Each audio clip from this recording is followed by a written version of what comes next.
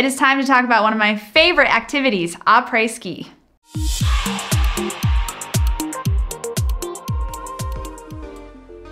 Après ski is a French term that literally translates into after ski. It refers to the social activities, entertainment, and relaxation that takes place after a day of skiing or snowboarding.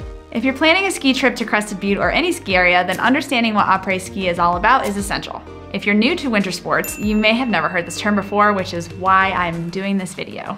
So what is après ski? Après ski activities can range from relaxing in a hot tub, enjoying a warm drink or a cold drink, or taking part in a lively après ski events such as live music, parties, and more. The ultimate goal of après ski is to unwind and celebrate your day on the slopes and have a good time with your friends and family. So where do you experience après ski? Well, après ski is most commonly found at ski resorts, but you don't have to be a skier or a snowboarder to enjoy it. There are après ski activities from bars, restaurants, to live music and dancing.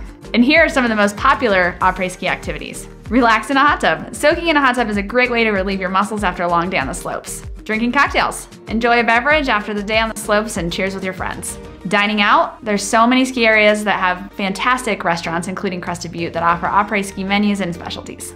Of course, live music. You can enjoy live music performances such as acoustic sets or DJs while sipping on your drink and socializing with your friends. Dancing. Some ski resorts have après ski dance parties complete with live DJs, dancing, and drinks. So if you find yourself in Crested Butte, head down to Elk Avenue for an awesome après scene.